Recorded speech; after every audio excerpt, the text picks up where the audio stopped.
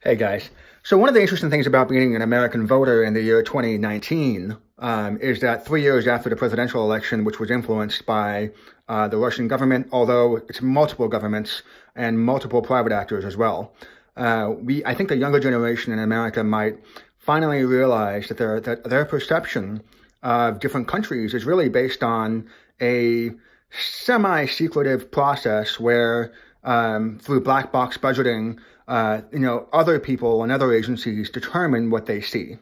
And these days, with digital sort of um, manipulation, I mean, that's that's that's a harsh word, but we'll go ahead and call it for what it is. Um, you know, and we'll we'll we'll say that you know these days all you have to do is master SEO, and if you master search engine optimization, you know, which isn't that difficult, it, it takes only a few hundred thousand dollars um, you know, ultimately all what ends up happening is, you know, you end up being sort of harsh. Again, I'm using harsh language here and I shouldn't do that.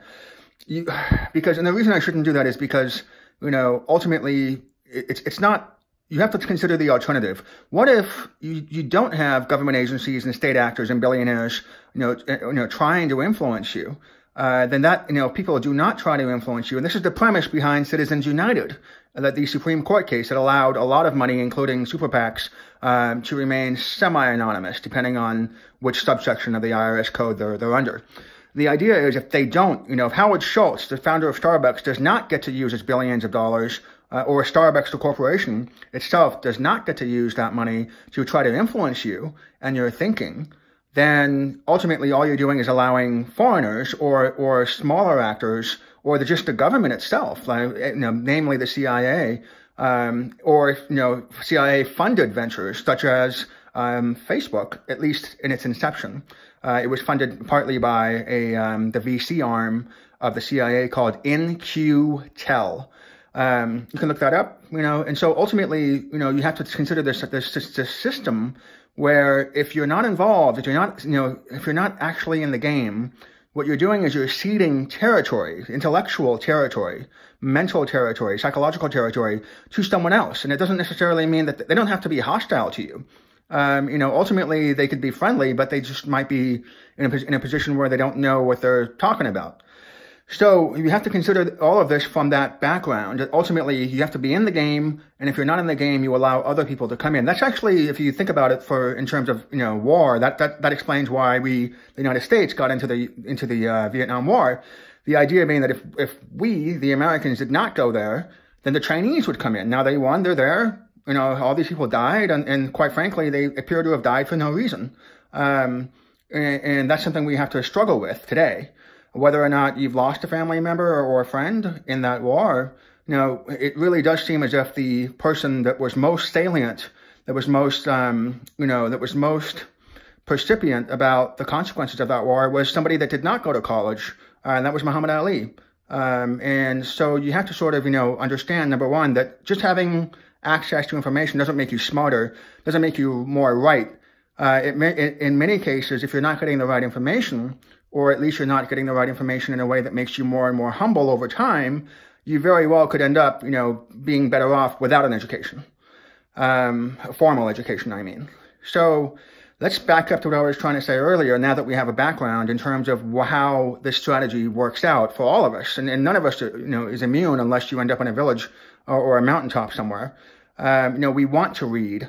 And, you know, if you notice from a, and I digress again, but, you know, if you look at older movies from the 40s, 50s, 50s and 60s, the dialogue was better. It was just a, you know, the actresses were better. Um, Audrey Hepburn, even Marilyn Monroe, who's derided as a, a sort of a, a, a, somebody who's not intellectual, was actually an amazing actress. Um, if you go back and look, and, and partially deaf, uh, raised, I think, in a, in in a home for orphans. I mean, just an incredible history. Uh, and of course, you know, a lot of these people end up sort of, you know, expiring too early.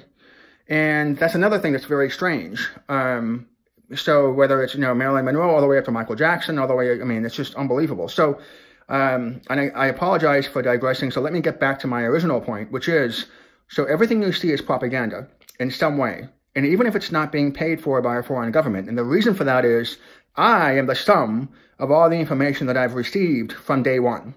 If I have a photographic memory, then I'm really the sum total of almost everything. Whereas most people, um, you know, can sort of parse, they forget things, or they're not able to synthesize the information.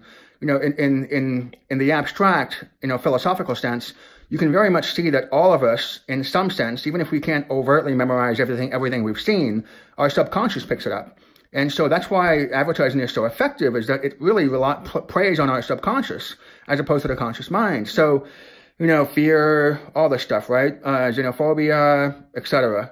And that's why it's always been so effective because that, that human source code has a flaw.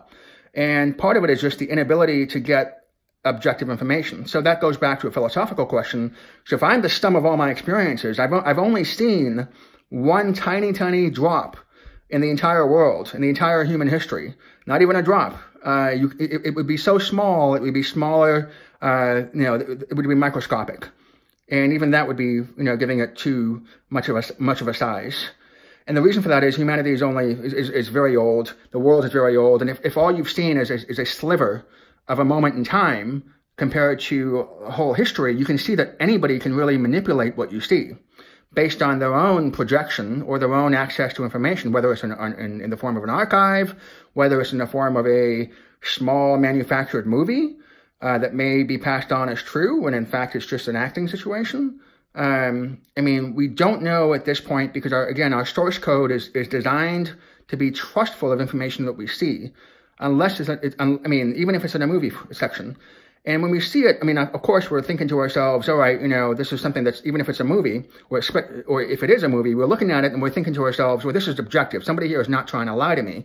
But again, what we're seeing is also the sum of that person's experiences in a sort of cellophane or a sort of visual format. And so that person's experiences get transferred onto you. And one of the interesting things about humanity is that that's what makes it so special is that we can sort of transfer, um, like Rogue and X-Men, we can try to transfer without touching each other, without sort of physically being there, uh, the sum total of our, of our experiences, which ultimately are, are subjective, onto somebody else. That's what, may, that's what makes us such good storytellers, as opposed to many other species uh, that get along just fine, that are probably more advanced than we are in many ways. But that one thing that, that ability to, to project our emotions and our, uh, the sum total of our experiences onto somebody else without needing to be there is responsible for a lot of our progress. And unfortunately, remember that's that flaw in our source code. Um, it's also the source of a flaw in the sense that if I give you enough bad information or enough, and it doesn't have to be bad. Again, I'm, I'm trying not to be judgmental. If, if I give you enough uh, biased information, and it doesn't, and, again, I don't know I'm biased because nine times out of 10 I've stayed in one country or I've only been to less than 10% of the countries in the world. I'm hostage to a situation where I'm dependent on other people's thinking, on other people's experiences, especially with the slow decline of, of, of in-person investigative journalism um, and interviews and so on. And so when we think about all these things, right, it actually does make a little bit of sense, or it, it makes sense from a uh, one perspective to say that we should have a benevolent agency or a benevolent billionaire trying to influence what we see, because if we don't, someone else will get in there and create fake news and so on.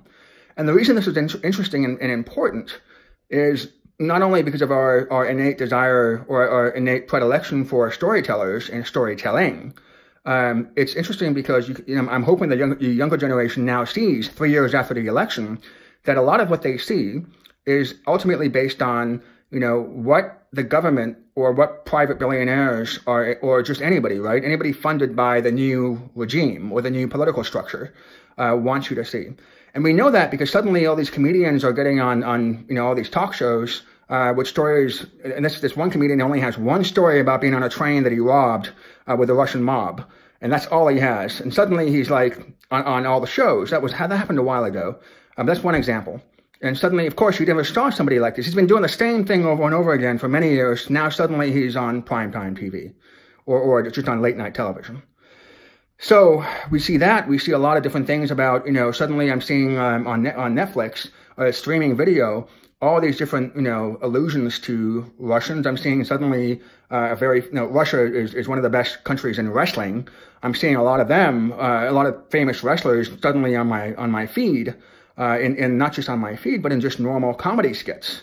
And uh, this is not something you would see. If, if, if suddenly our government was influenced by Bulgaria, a smaller country, so it's a bad example. Suddenly, it wouldn't be out of the question, I think, to suddenly see all these Bulgarian authors and Bulgarian poets suddenly coming to your feed. Uh, and, and that's what I think people need to realize, especially the younger generation, that when you have an election, a lot of it is really based on maintaining the, the legitimacy of that election after the fact. And the way you do that is you essentially, and not just because you're paying for it, right? I mean, obviously, uh, you know, if, I'm if I'm South Africa or something, right, I, and I'm trading with the U.S. Uh, and you know X billion dollars a year, it doesn't. It's it's a good investment to spend you know one billion or a hundred million dollars trying to make sure that that trade agreement doesn't get subject to outside influence that would harm me.